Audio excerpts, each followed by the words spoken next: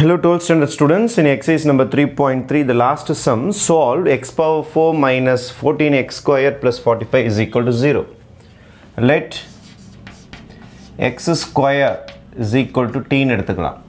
அப்போ இந்த சம் என்ன ஆகுனா உங்களுக்கு எக்ஸ் ஸ்கொயர் ஹோல் ஸ்கொயர்னு எழுதலாம். Minus fourteen x square plus forty five is equal to ஜீரோன்னு எழுதலாம். எக்ஸ் ஸ்கொயருக்கு பதில் தான் டி எடுத்திருக்கீங்க. அப்போ t square minus fourteen t plus forty five is equal to zero power ஃபோரில் இருந்த ஈக்குவேஷன் பவர் டூக்கு மாறிடும். It's quadratic equation product sum மெத்தடில் உடையதான்னு பார்ப்போம்.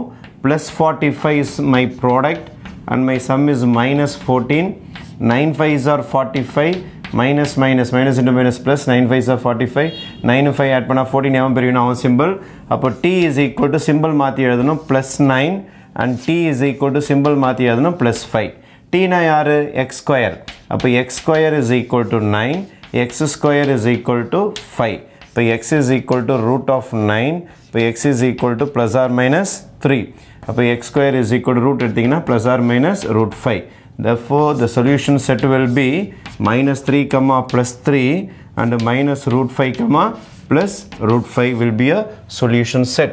Okay? This will be a final answer.